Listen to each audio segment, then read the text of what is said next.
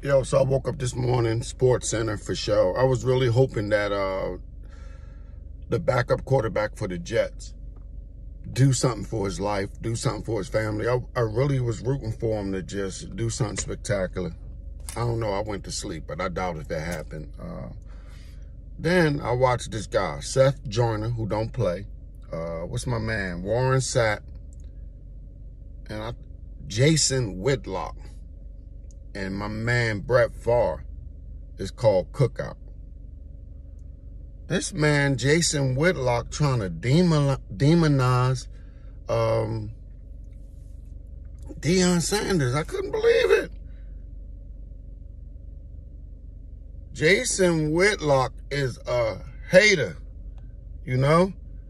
Then he gonna talk about uh, Deion Sanders, a Christian. He need to one thing about us Christians, I'm going to be honest with us. When we study the Word of God, we get so far away from who Jesus is and what he represents. Because the minute we start ridiculing people, talking about people, it's a sign that we don't know him. Jason Whitlock, you need help, number one. Number two, you're ignorant.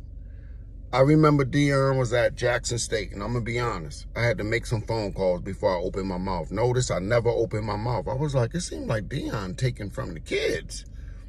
With the, um, you know, with the notoriety, it just seemed like it's more about him than them. I called my cousin Reg. Reg never responded. Because he probably was like, my cousin bugging again. Then I called a couple other people. Some people was like saying the same thing.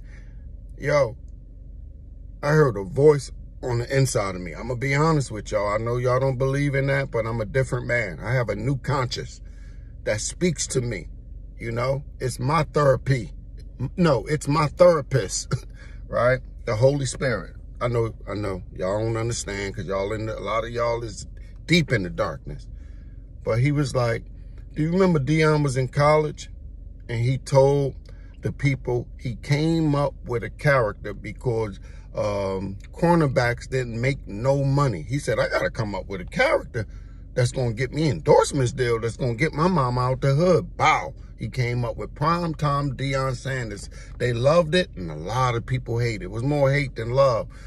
So he had to create a character which later on was to his detriment because he was in battle with primetime Deion Sanders and who the man God made and who the man his mama been praying for all the days he was going to church. So it was like a battle. So long story long, Deion Sanders is doing the same thing. Hey, without prime time, there'll be no Travis Hunter.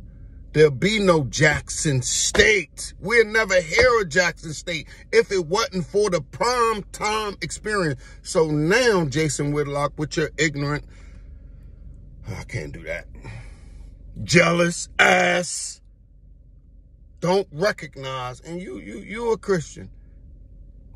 That man is using prime time now for God's glory to attract something that we never seen before, using it to God's glory, no matter what it looked like to your jealous ass. Prime time.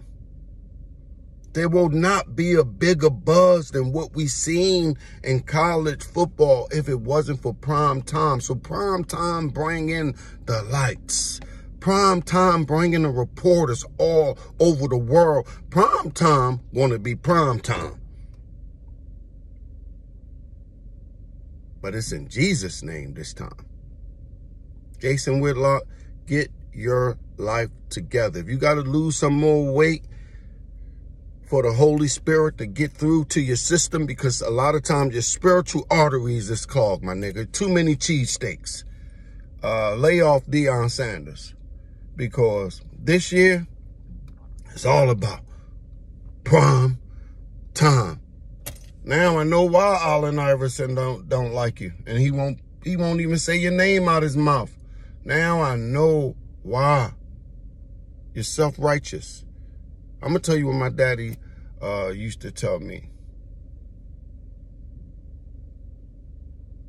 You're a crack addict, you stink, and you don't know Jesus.